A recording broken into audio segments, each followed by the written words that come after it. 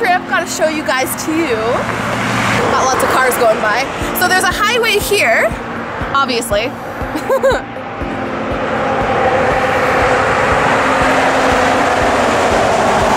but this used to be the highway. So back before they made the new highway, this was actually a highway underpass. Can you imagine taking turns going through this tunnel back in the day? Chitty bang bang, chitty chitty bang. 1913 it was built. Obviously the locals enjoy it as a good art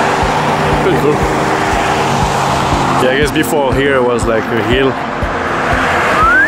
And they had to build this to go there.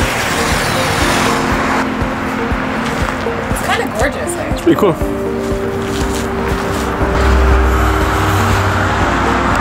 There's Lego up there.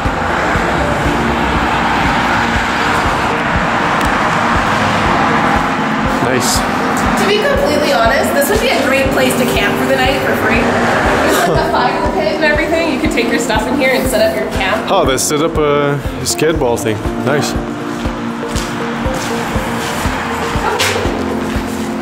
A skateboard thing.